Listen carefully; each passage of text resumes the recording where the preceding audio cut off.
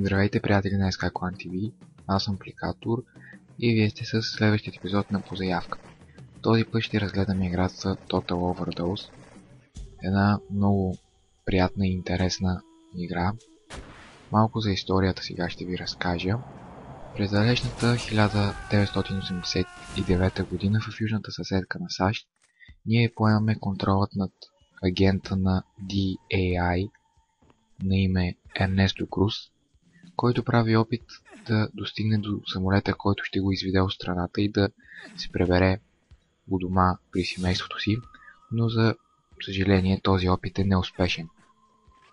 Официалната информация, която се пуска за неговата смърт е, че е, е приел свръхдоза. Той обаче има и двама сина на име Томи и Рамиро, които остават сираци. Един от тях, Томи, завършва полицейската академия успешно при това и след известно време, също като баща си, влиза в DAI. Главната му цел и амбиция е да открие и да убие човека, който е убил баща му а, и е опитнил без причина името му. А, след време той получава ми, мисия в Мексико, която приема и отива там под прикритие. Съжаление обаче след дълго изучаване и проучване, когато вече има всички необходими контакти и познати, след криминалните, криминалния контингент, той се наранява с ръчна граната. Рамиро, това е брат му, който се намира в затвора по това време. DAI го измъква оттам с претекст да отиде в Мексико и да помогне на брат си в борбата с организираната организацията срещу големия наркобос Папа Муерте. Той поема мястото на брат си при Цезар Моралес, който междувременно е тайно свързан с мафията.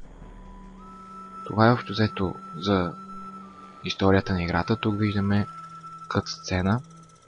Играта не иска кой знае какъв компютър да имате. Ето сега вече сме в Мексико. Пристигаме. Това е Рамиро, братът на Томи, както казах.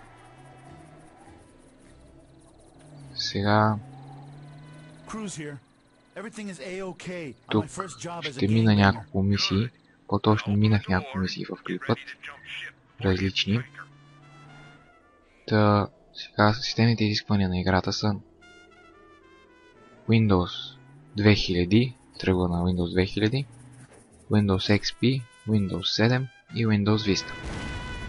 Трябва ни процесор от труда на Pentium 1,5 GHz или AMD Athlon 1400 MHz. И това ще рече 1 GHz, 1,4 GHz. RAM памет 256 МБ. Видеокарта с поддръжка на DirectX 9 128 МБ. Свободно дисково пространство 1,7 МБ или повече. И естествено ще ни са нужни и мишка и клавиатура.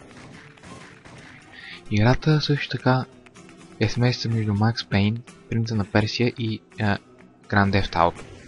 Понеже сега ще забележите, че има а, такъв bullet time. Този bullet time забавя времето и когато решим, когато имаме повече врагове, е доста полезно, понеже скачаме, ето сега тук някъде беше, ще видите. Също може да се катерим и по сгради, не да ги изкачваме, но може да се катерим по тях и може да караме коли, свободно да си пътуваме. Ето го Bullet Time. Това е като цяло играта. Надявам се да ви допадна този епизод. Това беше от мен Пликатор. Ако имате някакви заявки, пускайте ги в групата. В темата, която е специална тема за това. Казва се по заявка. И това беше от мен. До чуване.